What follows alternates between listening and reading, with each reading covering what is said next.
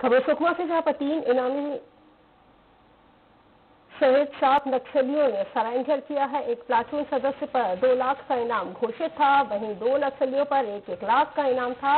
एक बारूद सप्लायर भी इसमें शामिल है सरेंडर किए गए तमाम नक्सलियों की निशानदेही पर पुलिस ने छापामार कार्रवाई की, जिसमें 35 किलो जिलेटिन रॉड भी बरामद की गई है। एसपी सौरभ सिन्हा ने इसकी आधिकारिक पुष्टि की है। आज हमारे पास सात नक्सली, पूर्व नक्सली जो है, वो सरेंडर करने के लिए आए हुए इनमें से तीन है जो कि जिनके ऊपर इनाम भी घोषित किया हुआ है। जिसमें से एक है जिसका नाम सूरी दुर्गा है, जो कि प्लाटून नंबर चौबीस का सदस्य रहा है। इसके ऊपर दो लाख का इनाम है, इसके अलावा दो और जिनके ऊपर एक लाख का इनाम है। और बाकी सारे भी जिनमें हमारे पास में ये ग्राउंड लेवल पे नक्सली कार्टर्स को सपोर्ट करना बालू सप्लायर को भी गिरफ़्तार किया गया है पैंतीस किलो जिलेटिन भी बरामद की है। एसपी सौरभ सिन्हा ने इसकी आधिकारिक पुष्टि की है। शिवा यादव ज़्यादा जानकारी के साथ फ़ोन लाइन पर जुड़ गए। शिवा, कितनी बड़ी कामयाबी?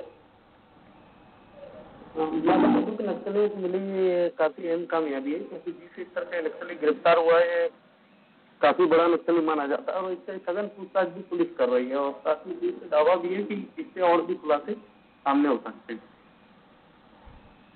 बहुत शुक्रिया जानकारी के लिए आपका।